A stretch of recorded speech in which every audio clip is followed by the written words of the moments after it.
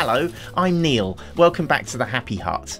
How do you back up to Google Photos? Or, more importantly, how do you stop backup to Google Photos? Maybe, like me, you've hit your storage limit in Google Drive, which means we need to turn off backup in Google Photos while we fix the problem. It's really easy and I'm going to stop backup using the Google Photos app on my phone here so you can follow along step by step. I'll also share a link to another video that might help you fix your Google Drive storage problem for good.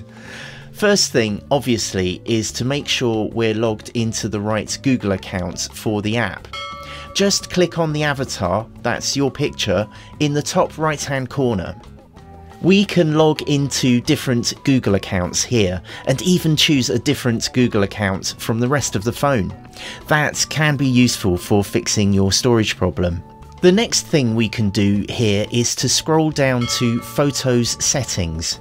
By the way, do not click here on Free Up Space. This will delete things from your phone because they're backed up to Google, which is no help if your account is over the limit.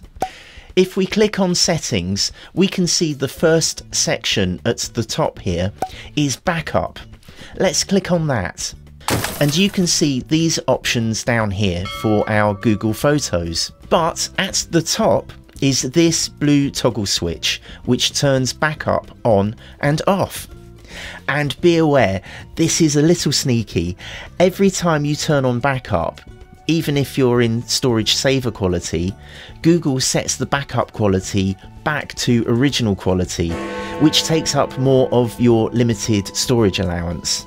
So you might want to just check that storage saver is turned back on every time you turn on backup.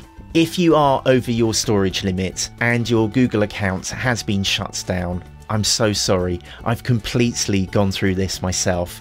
There's a link down in the description and on screen now where I walk you through step by step how to bring your storage back under 15 gigabytes and hopefully keep it under forever for free.